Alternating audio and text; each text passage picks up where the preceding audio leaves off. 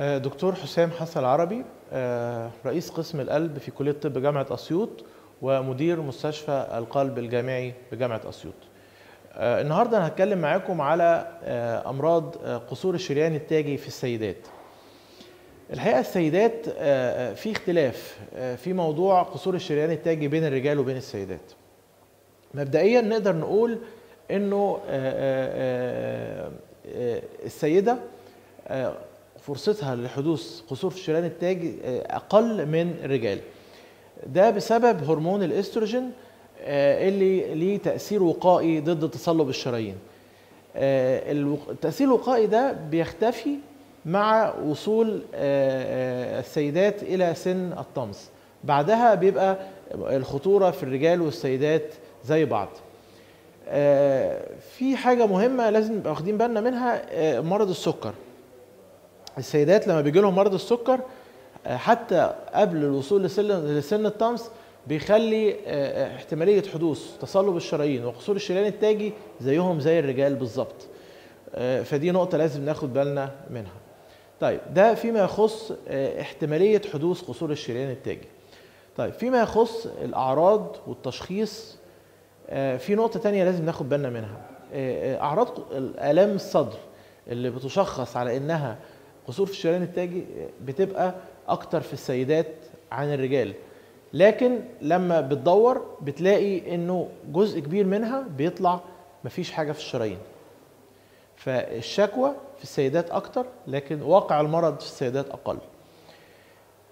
وفي موقع المرض ده برضو لما بتيجي واحدة بتجيلك عندها آلام قصور في الشريان التاجي بتشك إن عندها آلام قصور في الشريان التاجي وتعمل رسم قلب ممكن تلاقي فيه تغيير في رسم القلب.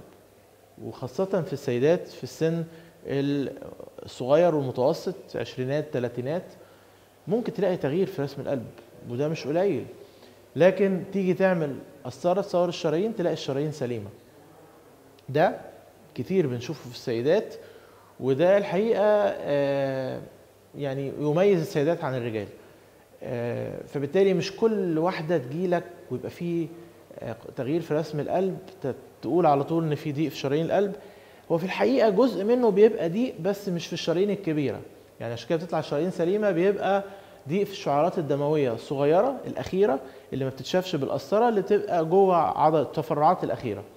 النوع ده من القصور ما فيش منه خطورة وأحيانا الآلام بتاعته علاجها الوحيد هو الأدوية. يعني ما فيش خطورة من آه، آه، آه، حدوث الجلطات والحاجات اللي إحنا بنخاف منها من وجود ضيق في الشرايين الكبيرة. فدي برضو نقطة بنحب نطمن بيها السيدات خاصة في السن الصغير لما يبقى في تغيير في رسم القلب لما حد يقول لهم في قصور وفي تغيير في رسم القلب.